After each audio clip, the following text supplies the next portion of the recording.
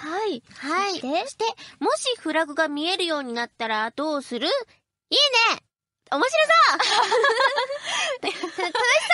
すごい雑な答えをしてしまった。ざっくり一般論的な。そ うね、どうするって言っても、どうしようもないですようね。ん。ん。だからきっと、愛ちゃんが見えてるフラグは、恋愛フラグとか友情フラグとか、うんそういうなんかポジティブなフラグばっかりなんだよ。死亡フラグとか。見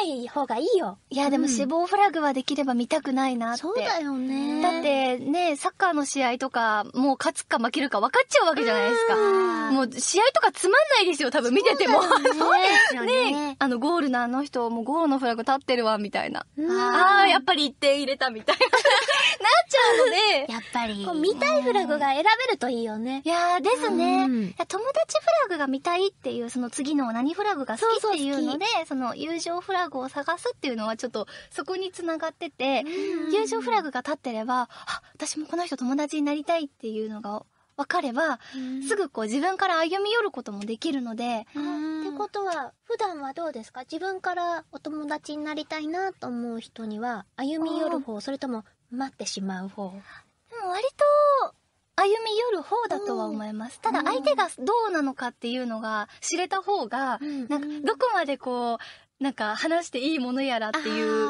ものを測らなくてもいいのかなっていう感じは。そんな精密な友情 わかんないですけど、ざっくりと、ざっくりと。なんか、まあ、友情フラグでももしかしたらレベルがあるかもしれないですけど、なんかそういうのが立ってれば、まあわかりやすいのかなっていう、全くね、友情、興味ないフラグが立ってたら、うん。はあどうやってあの人と友達になろうってそこから考えるみたいなこともあるかもしれないですけどね。なるほど。